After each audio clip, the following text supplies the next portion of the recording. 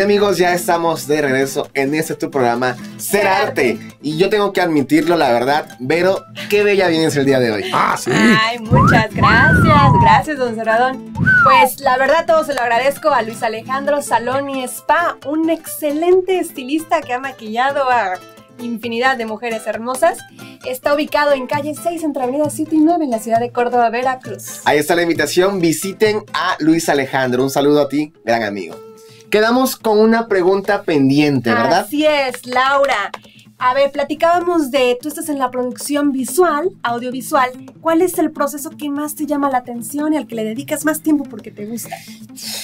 Este, yo creo que dentro de la producción, o sea, dentro de las filmaciones, eh, la parte de iluminación que, que, está ligado a la cinematografía, eh, es más que nada cuál es el tono de, del video, del corto, etcétera. Entonces, la cuestión de iluminar y cómo se ve, cómo no se ve, si hay sombras, si no hay sombras, de qué color van a ser.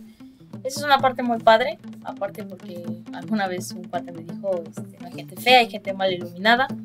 Gracias. Entonces, sí, toda la razón. No, no, o sea, creo es que, creo que, que parte de, de todo lo que conlleva hacer cine, esa es la parte que más me gusta, que es la parte de iluminación porque si le pones ciertos colores, pues cambia la psicología del color dentro del video o del cortometraje o de lo que estás haciendo. Y bueno, eso es. Bueno, ¿qué te parece si en este momento vamos a ver en Letrarte con Ismael Illescas y su recomendación literaria?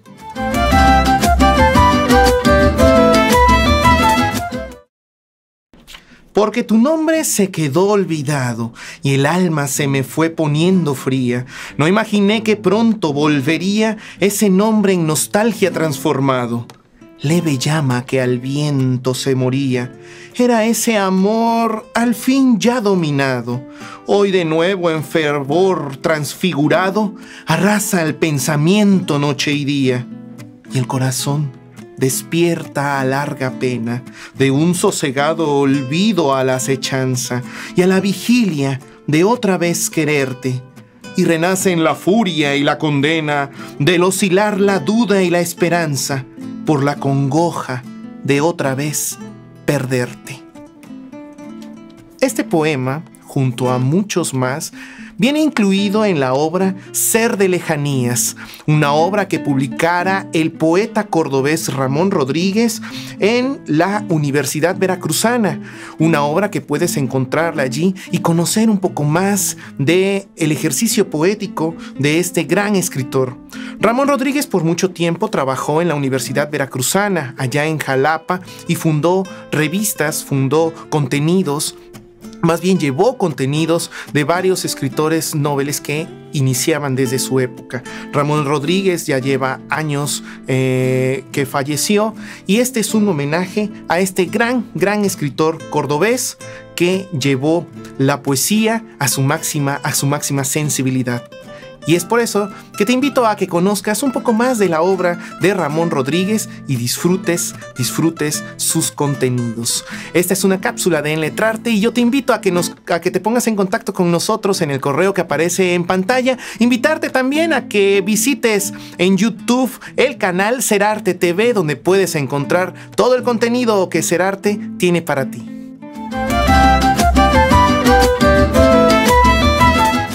Muchas gracias Ismael Illescas por tu recomendación literaria. Y estamos de regreso con nuestra invitada especial, Laura Martínez. Así es, Laura, mira, yo la verdad tengo que admitirlo, no sé muchísimo de esto del arte visual, pero he escuchado que hay documentales, cortometrajes y qué más existe en este, en este trabajo audiovisual.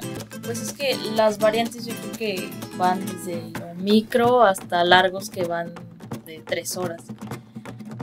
Realmente todos estos, estos nombres de cortos, medios, largos metrajes dependen de las duraciones. Eh, generalmente un cortometraje va de 0 a 15 minutos, el mediometraje va de 15 a 30 minutos y el largometraje pues después de los 30 hasta donde aguantes. Ah, mírala, Este, Y sabe, no como tú.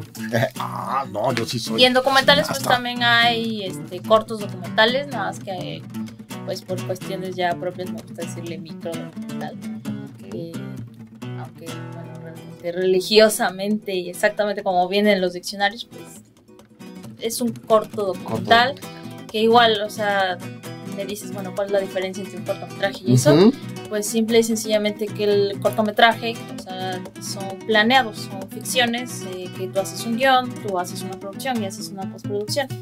Y el documental, pues alguna vez algún maestro, bueno, más que nada, cuate me dijo, el documental está hecho para que lo grabes y lo hagas mal. ¿Por qué? Porque pues primero grabas, primero este, recabas toda la información y ya después puedes crear tu guion así a la información. Pero bueno, yo creo que esas, el- la ficción y el documental serían las dos variantes este, generales, porque dentro de la ficción pues te puedes encontrar con muchos otros subgéneros. Igual dentro del documental hay subgéneros. Y hablando de estos géneros, me gustaría terminar o, o terminar aquí con esta pregunta y dejarla al aire. ¿Cuál es el género que más te ha, te ha gustado a ti y, y que lo hayas trabajado? Vamos a quedarnos con esta pregunta, Vero. ¿A dónde vamos? Vamos al siguiente número artístico a cargo de nuestra invitada Laura Martínez, un microdocumental de jazz y mariachi. Vamos a verlo. Jax, Jax, Jax.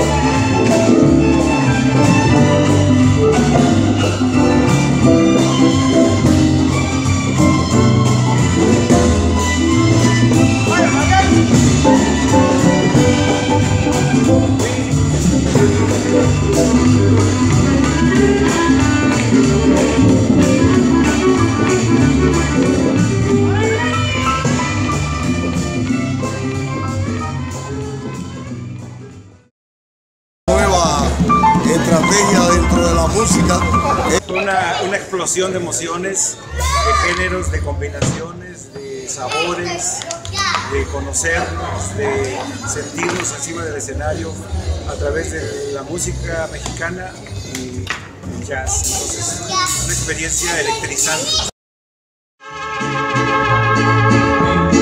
voz de la guitarra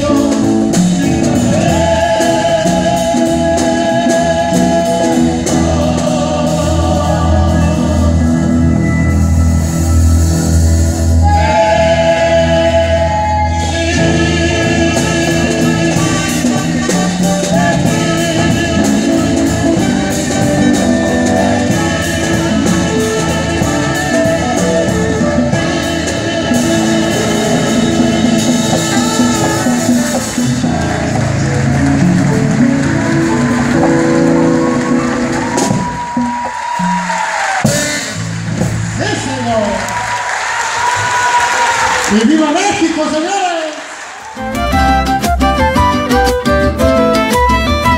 Audiosac Record. Estudio de grabación profesional. Líderes en la región con 20 años de experiencia en servicios de producción musical de calidad internacional. Contamos con paquetes especiales para solistas, grupos musicales, cantautores y empresas. Audiosac Record. Avenida de las Flores, número 28, Unidad Jardín. Teléfono 271-71-264-29 en Córdoba. Audiosac Record. Porque sabes lo que tu música merece.